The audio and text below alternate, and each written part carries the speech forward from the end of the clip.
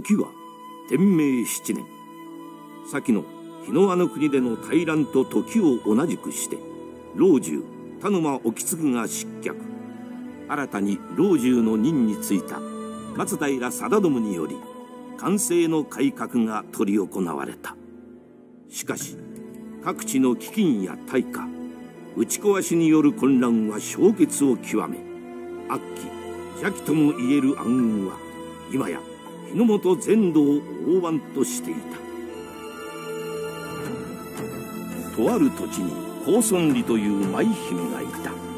明るく綺麗な彼女の舞に心動かされぬ者はおらず怯える者は勇気を辛い者は強さを悲しむ者は希望を受け取った。そして彼女には舞姫とは異なる裏の顔があった。悪行を働く貴族の罪を暴き悪を打つ。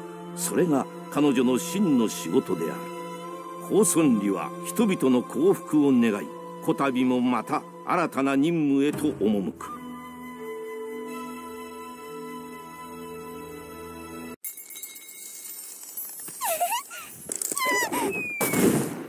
てっ？てっ？て早く姉様に追いつかなきゃあなたなんてすぐにやっ？つけちゃうよ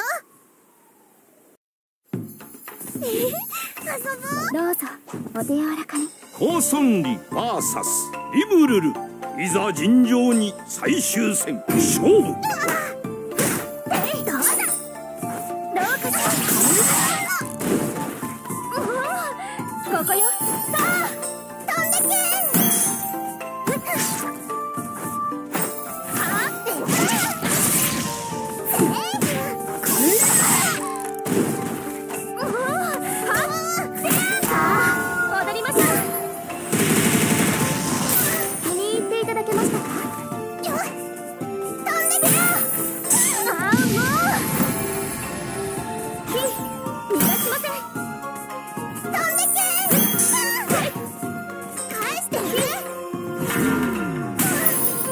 の舞楽しんでください。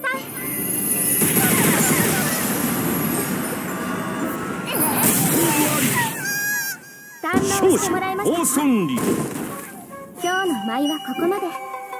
続きはまた今度。あなたはナコルルさん？この世界で会うなんて。訳は話せませんがここで眠っててもらいます。あなたは一体いえこの先は危険なところです。見逃すわけにはいきません。行こうママ母どうぞお手柔らかに。高村里 VS ナコルルいざ尋常に最終戦勝負。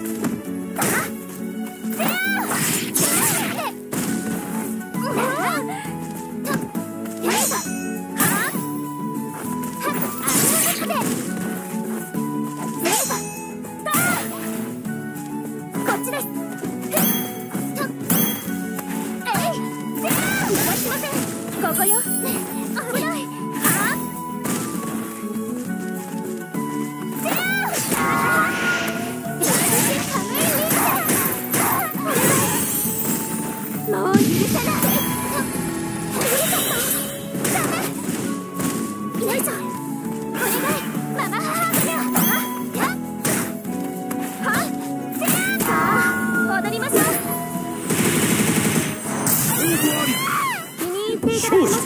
今日の舞はここまで。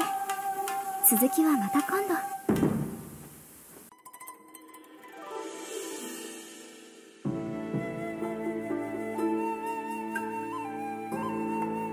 まばゆい光の中高尊里の耳元で「ありがとう」とささやく声が響く。まぶたを上げた彼女の眼前に飛び込んだのは荘厳で美しく咲き誇る桜の姿だった。吹雪く桜とともに舞姫は優美に踊る。ひらりひらりと宙に舞う桜はまるで怨念から解放された静御前の喜びを表すかのようであった。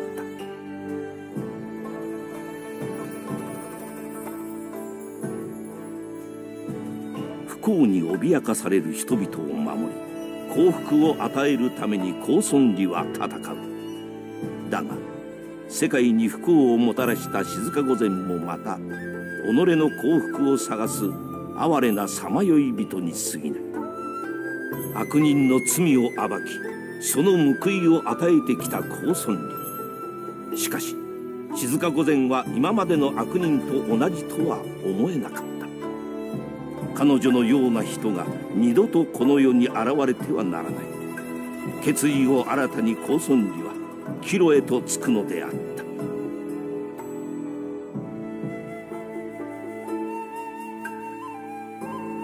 苦難を伴った旅路を終え任務を果たした高尊寺は慣れ親しんだ日常へと戻ってゆく。表では優美な舞で人々に幸福を与え裏では悪人の罪を暴いて婿の民を守る。輝く正義の心を胸の内に秘め彼女は今宵もまた秘密の任務のために暗躍する。そのまぶたの裏には異国の地で見た満開の桜と光の中で微笑む女性の姿があった。人を放ってはおけないの。ほらみんなには笑っていてほしいから。